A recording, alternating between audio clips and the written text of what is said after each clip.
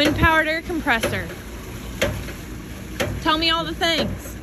Well, the wi- wind power air compressor, I built it out of a Datsun rear end, and all I had was the fan and the tin for the tail. I had to build all the rest of it.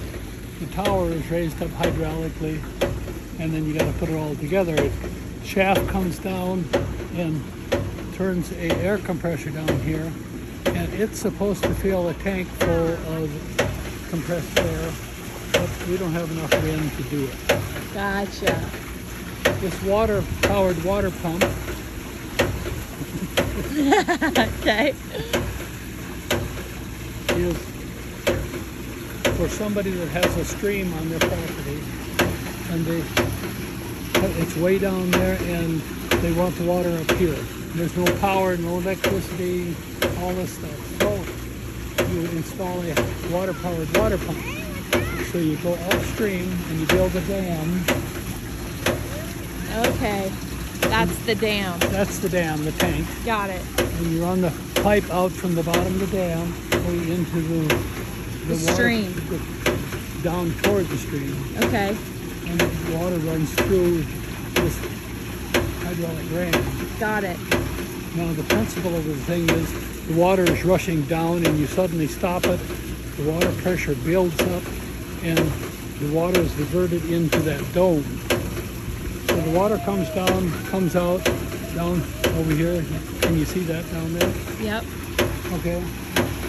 And the water flows out of there, and the water gets going fast enough, it closes that valve, and there's a shock of the water coming down. It needs to go somewhere, so it's diverted up into that brown dome. Okay. Everything stops, the valve opens, water flows through, slams shut, water is diverted into the dome. And there is an outlet on the other side of the dome that brings the water uh, up to wherever you want it. In this case, it's the white pipe, and it goes up there.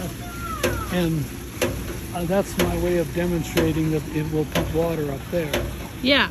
That is five gallons a minute, which is quite a bit of water. So that's like if you need water at your house or in your fields or whatever. Well, it isn't big enough for fields, but it's for a gold mine, watering your cattle, water to your house, something like that.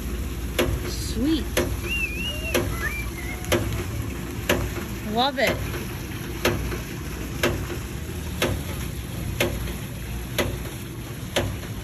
I get it now, Clark.